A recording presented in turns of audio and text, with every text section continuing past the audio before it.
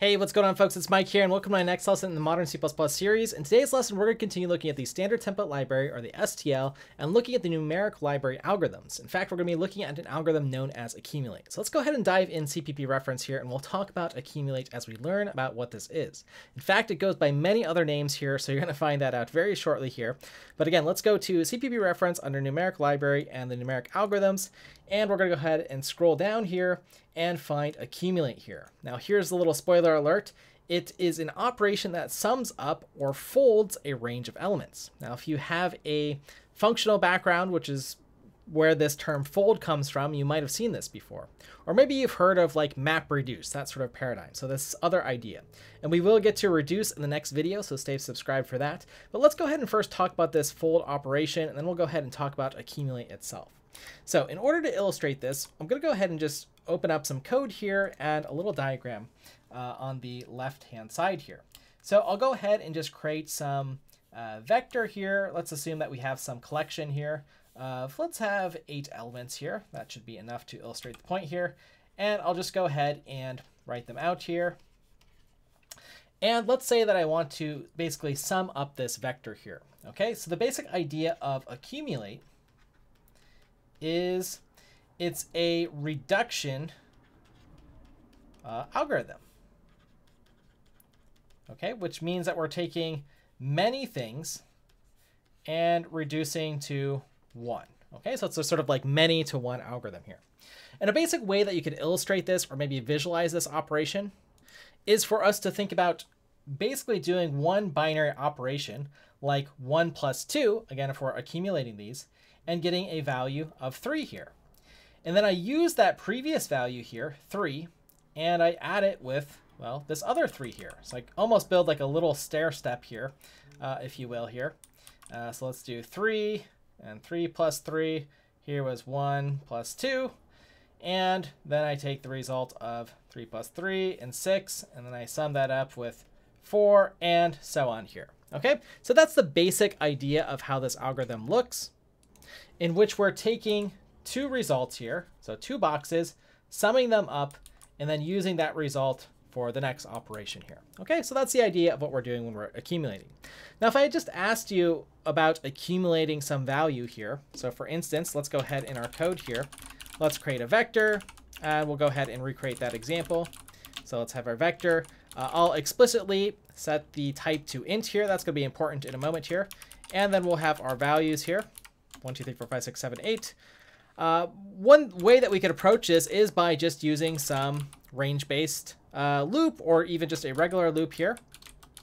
And basically I would say, well, i is less than the size, i plus plus, and then I would come here and have some sum here. Um, or maybe even a better way to think of it is the initial value here as zero here. And what I would do is keep track of this initial value. Now I didn't want to make this sum necessarily because accumulate doesn't necessarily have to be about summing up things. It's a little bit more generic than that. Uh, so that was the purpose there. But I would take the initial value and I would sum it up with the value uh, at i that we're looking at and do this little accumulation here. Okay, so let's go ahead and just sort of play around with this. This isn't quite accumulate yet if we're thinking about the algorithm. Uh, but let's go ahead and say what the sum is in this particular instance here. And let's go ahead and compile this, make sure that it runs here. So it compiles and runs. Our sum is 36. And that should be right if you add 1 plus 2 plus 3 plus 4, etc. Um, again, you can sort of uh, summarize that as you will, or maybe some of you, uh, if you've been in school, well, let me just write this. Um, the way so, sometimes you learn this formula here, something like this uh, for your summation. Uh, again, there's a nice little story about Gauss here that you can uh, you know, read about how he was a child prodigy and added up some numbers. That's what the, the myth says, uh, or the folklore, I should say. Um, but anyways, that is a way to sum numbers here. Um, but really what we probably want to do is think of these as pairs, just to think about this as a little bit more of a uh, generic algorithm, I would say. Uh, so let's go ahead and take this uh, example here. And I'm going to go ahead and push it down here. And let's go ahead and say here, uh, let's just call this the uh, result here and the current. Okay, so initialize these values here. And basically what I want to do here is take uh, and solve for the current value, which is going to be equal to v at i uh, plus v at i plus 1. Okay. And I could start to think about these as uh, pairs here. So there's a few different ways that you could do this. Again, if you have uh, addition here, uh, then you could say, well, I could do i plus equals 2 here, and then I could do the result plus equals uh, current here. And let's go ahead and uh, let's see if this uh, checks out for us. The result here. And if I compile and run this, uh, again, our result is 36. I mean, again, this, this happens to work because we're doing an addition operation here. Um, but we kind of want to think about this then in a little bit more of a generic way. Now, remember that we don't really think about, uh, you know, the, these as pairs here because we are using the previous or the initial result here, okay? Uh, but what I do want you to think about is this idea here of some sort of binary operation that we're performing here. So a plus requires a left side and a right side. So we're going to find in the accumulate algorithm that we need some sort of binary operation. And then it's going to take care of like this sort of idea of like what's our initial value and, and, and initialize things uh, in a proper way here. Okay. So anyways, with that said, I think we're ready to look more at uh, accumulate. We'll actually click into the page and take a look at it.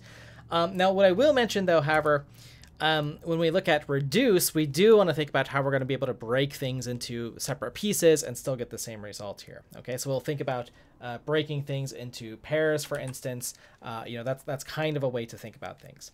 So anyways, with accumulate, we have a few different versions here. We're going to focus on the since C++ 20 versions because those have uh, constexpr, meaning we can do stuff at compile time. Um, and generally, the most sort of uh, the default case here of what we're doing is we're computing the sum, given an initial value and the elements in the range from first to last here. Uh, so if we look at the first version, that's the version up here that has a range specified with the first and the last here. So again, this could be our range for the first two parameters and the initial value here. So this might be zero, this might be something else depending on your uh, operation. Uh, and again, if you want to do accumulate with some other binary operation, which maybe we'll look at something else, uh, we can go ahead and try with like a multiply or something uh, as an example here. Okay, so that's the basic idea here. Uh, so again, here's the parameters. Here's if we want to pass in a custom uh, binary function. And I'll go ahead and scroll down here so we can see some of the possible implementations, just so you can see exactly how this works. And that's bookkeeping uh, for accumulate. Again, our iterators here and the initial value. And then basically we're just iterating through uh, or looking at every value here uh, and then incrementing. So an iterator to point to the next element here. And then our initial value is being updated. Uh, so we're taking the very first uh, initial value here, uh, performing some operation. Again, this is the default case is it uses the binary operation for plus here. And we're just adding these two values here um, and updating init. And then the next operation that we do takes the value that we just calculated, which is now stored in init, and then adds the next value. Okay, so exactly what we did uh, if we look back at our code uh, here, where we're just basically adding to the initial value over and over and over again, uh, but after computing uh, some sort of sum. So something a little bit closer like this. Okay, so we can stare a little bit at this uh, if it makes sense for you, but that's the basic idea. Uh, let's go ahead and take a look at this. Um, and again, std accumulate is basically performing what's known as a left fold. So we're starting from the left-hand side or the zeroth element in our collection, the very first element. Again, this could be like a linked list, anything that has a, um, if we look at our iterators here, it takes in a input iterator. Um, and basically just walking from left to right, okay? Uh, if we want to do a right fold, you reverse uh, your collection. Okay, so that's what it's telling you there.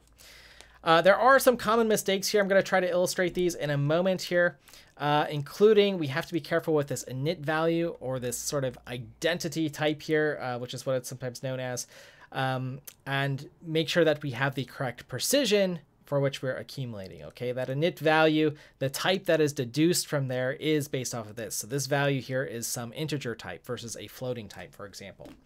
Uh, but anyways, let's go ahead and look at some of the examples here. Uh, we'll hold on to, uh, let's hold on to those there, and I'll go ahead and set up our code for the left side of the screen there. Okay. Uh, and let's go ahead and do it. Let's go ahead and add uh, accumulate. So we're going to need to add the numeric uh, header here. So we don't want to forget that here. Numeric. And we'll still use this vector here just to go ahead and check and see what our value is. So let's go ahead and Uh, we can do this in a one-liner here again.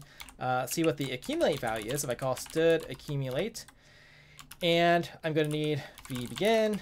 Uh, and actually, let's make this a little bit bigger just so we can see everything on one line. The end. Uh, the initial value is just going to be zero. And let's just go ahead and do an end line there. Compile and run this here. Uh, oops, got a little ahead of myself. As always, no errors in the interesting spot, spots there. But we can see this works uh, perfectly fine here. We are accumulating. We have an initial value of zero from the beginning to the end here, okay? Uh, now, if we want to pass in some sort of other uh, binary operation, we can do that here. Uh, I believe it's multiplies. I'll have to check that here uh, for the binary operator here. Let's go ahead and check that out. Uh, that works here. Uh, now we get zero here. why? Well, we're multiplying zero by something, by, you know, something else here. so let's go ahead and update this to something, some sort of identity function, right? One times something won't change the value. Uh, and now we get 4,000 uh, and uh, 320. Uh, and you can check that. I mean, think about what the operation is that we are actually doing there. Uh, actually, if I go on my other screen here, right, I'm doing 1 times 2, right, taking my first two elements, uh, getting some result here, 2. And then I'm taking that value times, well, what was our next value here? Uh, well, I'll just circle it here, 3. Okay, so I'll bring that down here, times 3, which gives me uh, 6. So again, I'm just kind of drawing this like a tree, times 4, you know, equals 24, etc., etc. Right, this is 8 factorial. Uh, so that is the value here. Uh, congratulations, you've just written a factorial function with no loops, etc., uh, etc. okay? Um, now, of course, if you want to calculate larger values, you might want to memoize this and so on, uh, like you learn when you learn dynamic programming. um, but let's go ahead and take this example uh, just a little bit further to show you the one little gotcha with accumulate uh, that I want to make sure that we uh, take care of here. I'm going to call this vector v2, and let's go ahead and just give ourselves, um, you know, some other reasonable numbers here. I'm just going to make these all 0.1 here. Uh, and then let's take this accumulate here. I'm going to make these V2, V2 here. Um, and let's go ahead and uh, let's add these. Uh, okay, so 1.1 plus 2.1 plus 3.1, etc. Uh, let's go ahead and give this a run here. And oops. Now, GCC here was being pretty good. It's giving me a warning about narrowing, which I'm uh, getting to. Uh, so let's, you know, let's use our fancy uh, C++ should be able to deduce the type here. And let's go ahead and run. And hmm, we still get a value of 36. Uh, okay, so that is the issue here we have to be careful about. If I've got eight values, I'm adding 0.1. Uh, not quite right here. And again, you could ask yourself, well, did C++ deduce the right type? Did it do it here on the template argument? Uh, no, we still get 36 here. Uh, and just to be clear, I'll type uh, v2 accumulate here, uh, just so we can see that, yeah, it's still 36 here. Uh, where it deduced the wrong type, again, remember, is this initial value? That's where it's deducing the type from. So if I make this 0, 0.0, we should see something uh, different here. I'll go ahead and run this here. And now I'm getting the correct 36.8 here. So we do have to be a little bit careful with the accumulate function. Uh, again, this is why I try to be pretty precise. I usually put like a uh, 0.0 or 0.0f after most of my numbers here, because uh, that is one gotcha spot with the accumulate uh, function here. Okay, so we'll go ahead and take a look at this. Um, and again, you can see the example. Uh, only other example they have here is where they're doing the right fold if you want to do things from right to left in your collection. Um, so again, that is something that you can do. So again, if you're coming from a functional background and maybe you've missed uh, some of these algorithms, again, this is a great reason for why we want to always learn the standard template library uh, because these algorithms really are powerful. Uh, so as always, you can check out my uh, website here to catch up on all those STL videos. They're here on this playlist. It's free. You can keep track of your progress. Uh, otherwise, and I hope you enjoyed that video on Accumulate. Hopefully it was useful. Hopefully uh, C++ is becoming more and more fun, especially as you learn some of these standard template libraries. And we explore, again, some of the little gotchas. Like, again, just making sure. And again, it's just a general good habit that you're annotating your types as much as possible. I am a fan of that um, because occasionally when you're using templated uh, data structures or algorithms, that is an issue that you can run into. So again, it's just a little thing to keep in mind as you maneuver the language, but it, it makes sense why it does that. Um, and this might be a case too for using static analysis tools. I don't know if Cppcheck um, catches onto it right now, but some of the other uh, tools might, maybe Visual Studio's uh, Analyzer, for instance, uh, might catch some of those little bugs here. Again, the bug that I'm referring to, let me actually just go back so I'm uh, being very specific here, is again, just make sure that your initial type is uh, what you want, because that's what it's deducing it from uh, at compile time from a template. So um, just one little thing to keep an eye on. Anyways, folks, with that said, hopefully you enjoyed this lesson. And as always, uh, feel free to engage in the discussion below, and I'll look forward to chatting with you again. So thanks again for your time and attention, and we'll see you in the next one.